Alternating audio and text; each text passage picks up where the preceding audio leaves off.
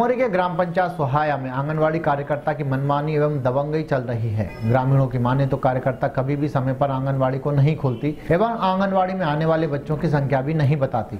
साथ ही आंगनवाड़ी में बच्चों को किस प्रकार का पोषण आहार दिया जाता है, उसकी भी जानकारी नहीं देती। ग्रामीण जब भी पूछते हैं तो उनके साथ अभद्रता की जाती है। साथ ही धमकाती भी है। ग्रामीणों का कहना है कि जब हम उससे इस संबंध में पूछते हैं तो वह बोलती है कि हमारी मैडम ने मना किया है, किसी को भी, किसी भी प्रकार की जानकारी ना दी जाए।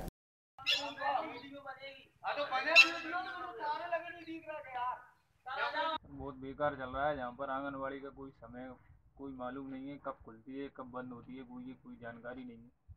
ना कोई का सामान का पता है कुछ मिलता है कि नहीं मिलता है जो भी कोई जानकारी नहीं अच्छा तो इस तरह ये सामान वामान क्यों नहीं देते? अब मालूम क्या है टाइम पे आती नहीं है बात करती नहीं है कुछ किसी से।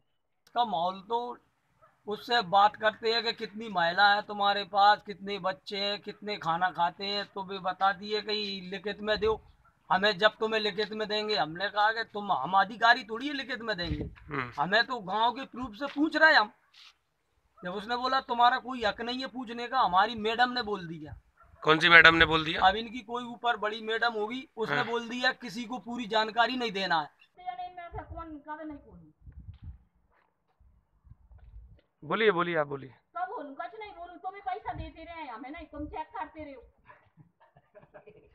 बहन जी हमने कब पैसे मांगे आपसे मुझे पैसा नहीं फिर रहे हो नहीं, आप बताइए। मतलब कब पैसे मांगे आपसे हमने? तुम पैसे नहीं मांग रहे कब मांग रहे हैं कब मांग रहे क्यों भैया किससे पैसे मांगे हैं बताएँ आप तो बिन के सामने मांगोगे का तुम क्यों अकेले फ़ोन करके पैसा मांगो तुम अच्छा आपके पास कोई प्रूफ है पैसे मांगते हम है है वो मेरे पास बताइए क्या प्रूफ है बताइए आप कौन ने मांगे ठीक है बोल रही हैं आप बोल बोल बोल में कहाँ ठीक है।